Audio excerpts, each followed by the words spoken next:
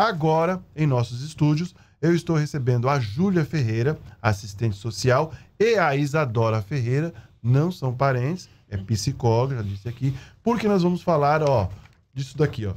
19 de agosto é o Dia Nacional de Luta, né, de, da população em situação de rua. Bom dia, primeiramente. Bom dia. Vamos lá.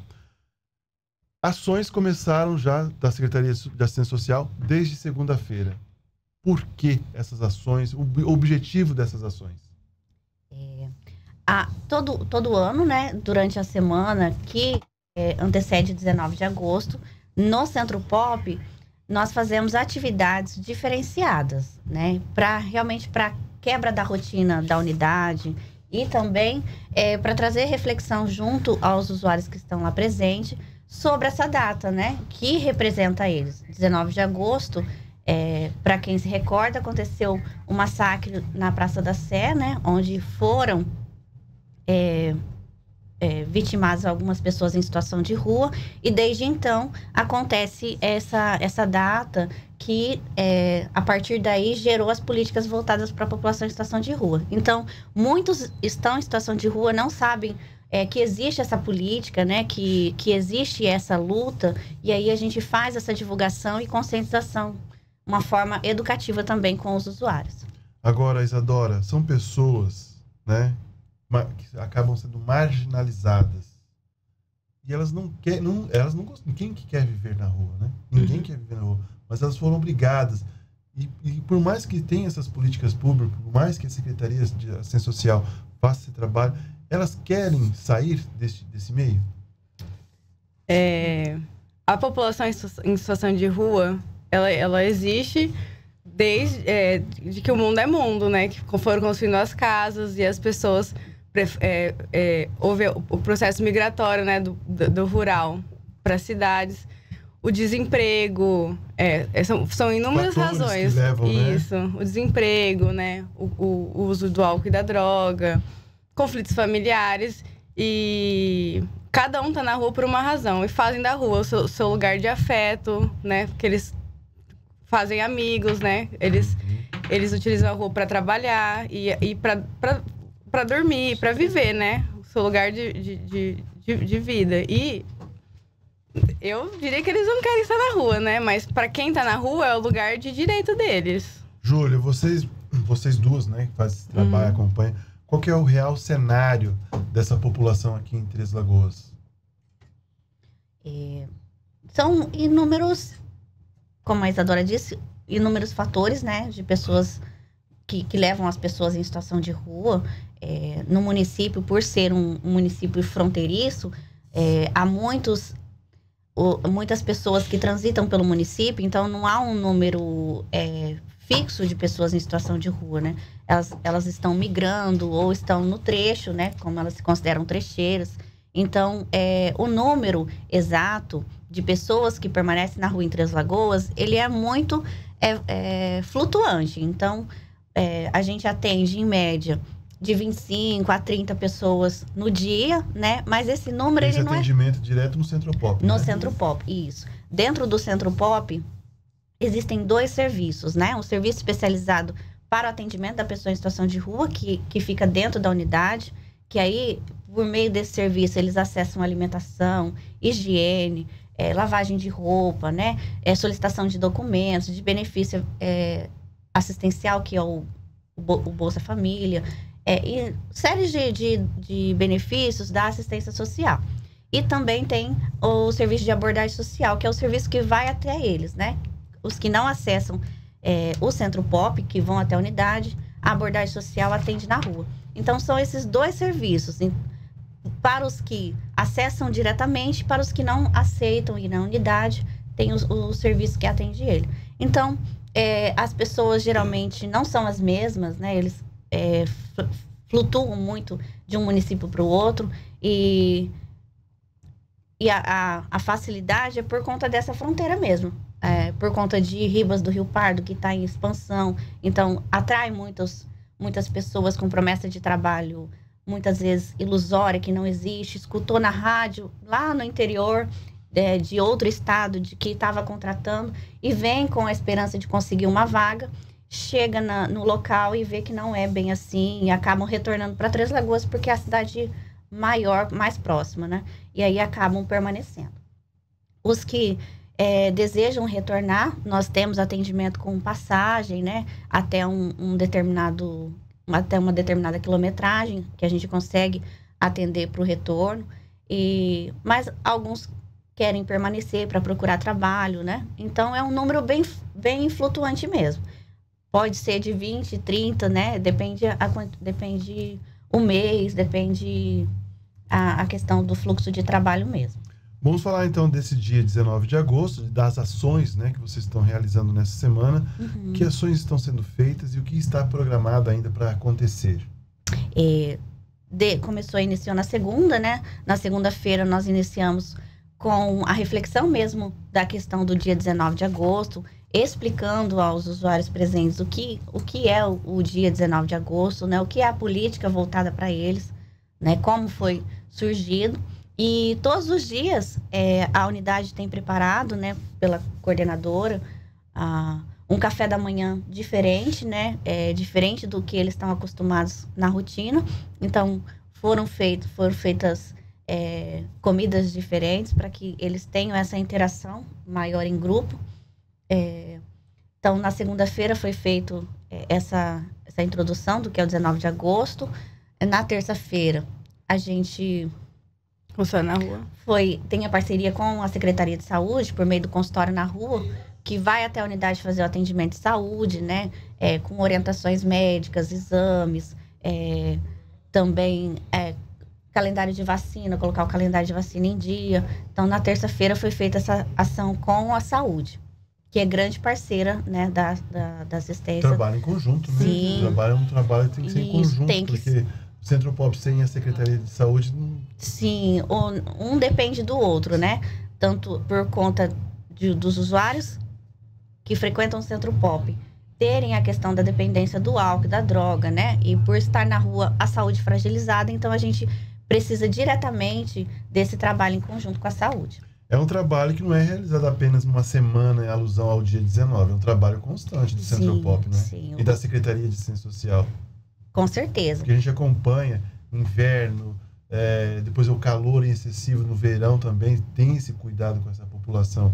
E aí as pessoas ficam perguntando, né? É, cria, mas se ajudar muito, não está incentivando essa pessoa a permanecer na rua?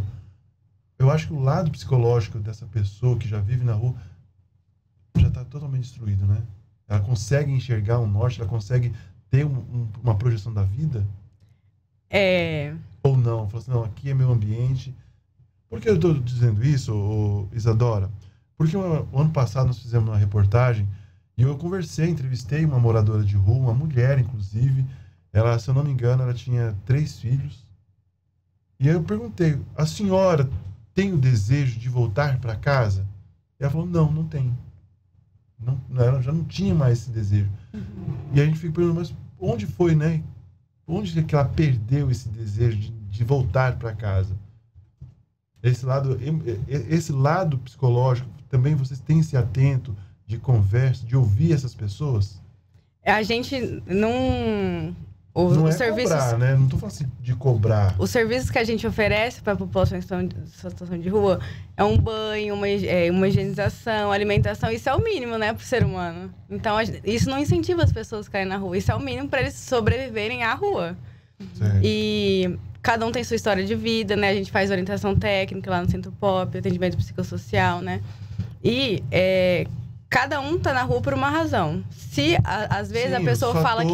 Né, os fatores que levam são, são imensos. A gente... Às vezes a pessoa fala que tá na rua, ah, é, que prefere a rua do que a casa, a gente não sabe o que ela vivenciou na, na casa, as inúmeras violências Sim. que ela vivencia na casa e também inúmeras violências que elas vivenciam na rua, né? Mas dependendo da pessoa, elas não conseguem é, é, viver no, no mesmo local que viviam 30, 15, 20 anos de violência, né?